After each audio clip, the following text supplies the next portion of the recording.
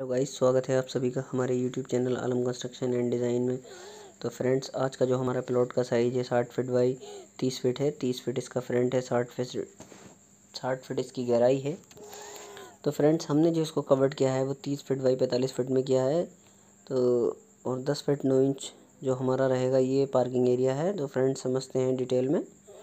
आपने अभी तक हमारे चैनल को सब्सक्राइब नहीं किया है तो सब्सक्राइब कर लें।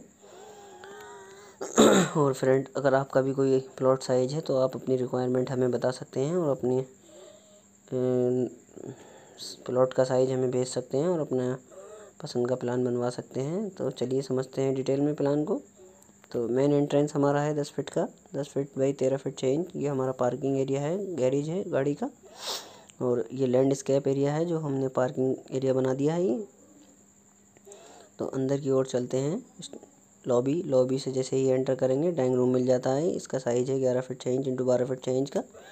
काफ़ी बड़ा साइज़ है और अच्छा ड्राइंग रूम का साइज़ है। तो इस ड्राइंग रूम से जैसे ही निकलेंगे आप पैसेज है पैसेज है चार फिट तीन इंच का।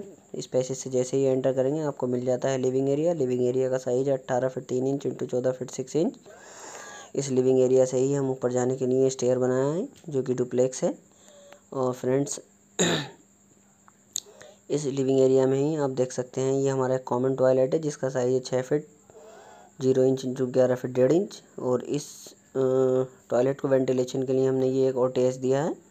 इस ओटीएस से हम वेंटिलेशन हमारे टॉयलेट को मिल सकता है।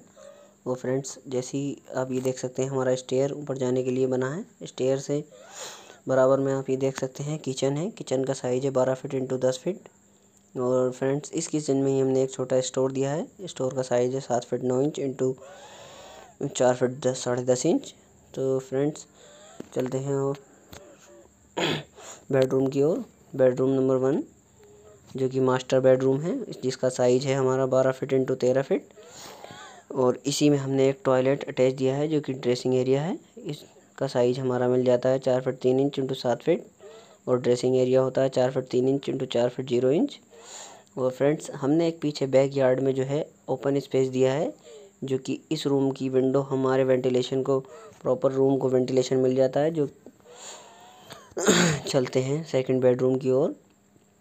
सेकंड बेडरूम का साइज़ हमारा ग्यारह फिट छः इंच इंटू तेरह फिट।